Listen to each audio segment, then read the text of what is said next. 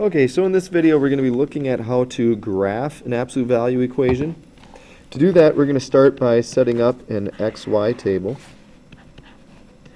And what we're going to do is we're going to come up with some values for x that we're going to put into this function and then figure out what value for y we would get when we put these numbers in for x. Now here's a note about absolute value. When I put negative 2 inside the absolute value, it stays a negative 2. We don't take the absolute value of a number until after we've done anything inside the absolute value sign. So think of the absolute value as a grouping symbol, just like parentheses. So we're going to do inside of the grouping symbol first, and then take the absolute value of it. So putting negative 2 in there does not make it a positive 2.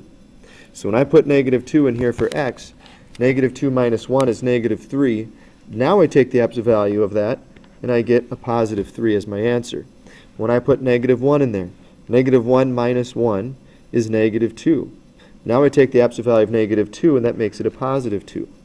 When I put 0 in here, 0 minus 1 is negative 1. Absolute value of that is a positive 1. When I put 1 in here, 1 minus 1 is 0. Absolute value of 0 is 0.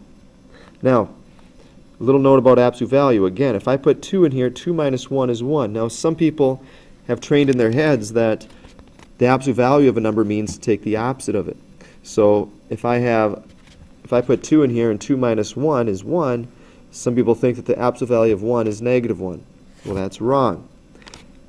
When I first taught absolute value in middle school, what I would tell students is that absolute value is kind of like a car wash. When you drive a dirty car through a car wash, it's obviously going to come out clean. So if you put a negative number and run it through absolute value, it's going to come out positive. Now, if you drive a clean car through a car wash, obviously it's never going to come out dirty. It's going to stay clean. So if you run an absolute value number, or I'm sorry, if you run a positive number through absolute value, it's not going to come out negative. It's going to stay positive. So in other words, absolute value, it doesn't take the opposite. What it does is it cleans it up. It always makes it positive. So when I put 2 in here, the absolute value of 2 is, or 2 minus 1 is 1, and the absolute value of 1, it stays 1.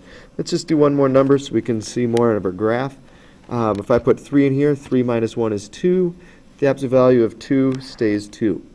So now let's graph this. So negative 2, positive 3 would be here. Negative 1, positive 2. 0, 1. 1, 0. 2, 1. And 3, 2. So when I go to graph this, this is what our graph is going to look like. Now here's the thing about absolute value.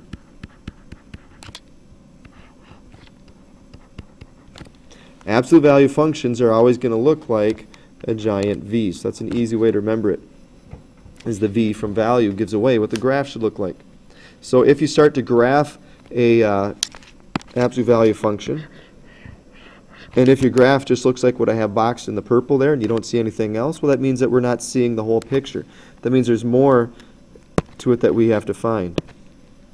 So make sure you remember that because sometimes students will start graphing and they'll see, let's see if I can do this.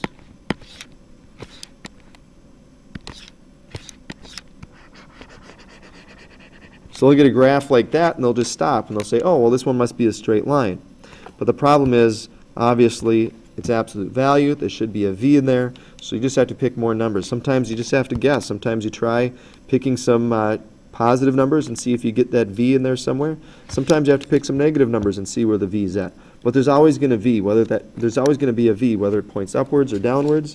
Uh, so just make sure you always look for that when you're graphing.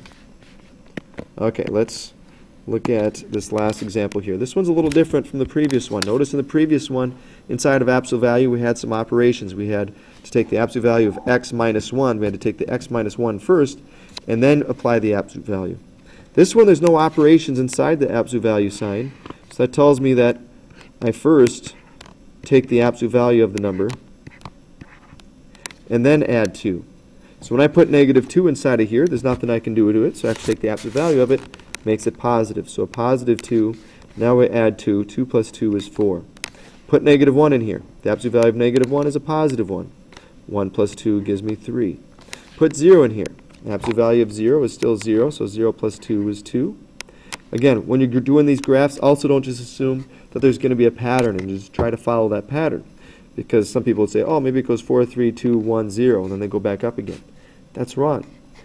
So if I put 1 in here, the absolute value of 1 is 1, and 1 plus 2 is 3 now. When I put 2 in here, absolute value of 2 is 2, and 2 plus 2 is 4. So let's look at our graph. Negative 2, positive 4, negative 1, positive 3, 0, 2, 1, 3, and 2, 4. And there's your absolute value. So hopefully you got a better idea of what the absolute value function should look like. And a key here is to make sure you remember that when you put a number inside of absolute value, it doesn't become positive. It's not until we do any simplifying inside the absolute value and we take it out of the absolute value that it becomes positive. So good luck on the graphing portion of your assignment.